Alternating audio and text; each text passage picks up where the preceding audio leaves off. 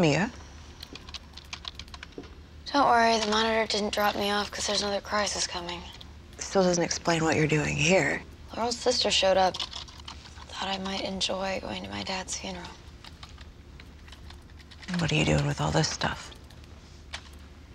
Trying my best to channel my mom. Sorry, um, when Sara dropped me off, she gave me this whole lecture about not telling people about the future, so. A few weeks before Sara showed up, something happened.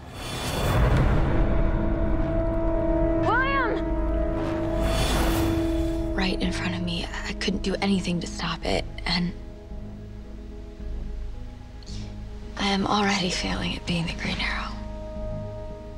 What we do is not easy.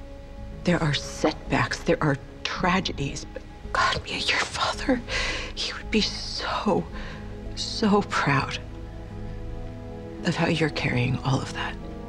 I can't even do the one thing that he risked his entire life to do. Protect my family. What's this? Well, your mother's Archer protocol scans news stations for certain keywords.